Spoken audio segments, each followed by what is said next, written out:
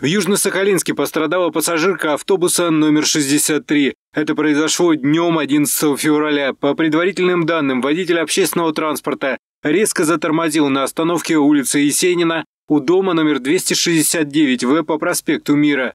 В результате в задней части салона упала 69-летняя пассажирка. С места происшествия ее увезли в областную больницу на обследование. По факту происшествия госавтоинспекторы проводят проверку.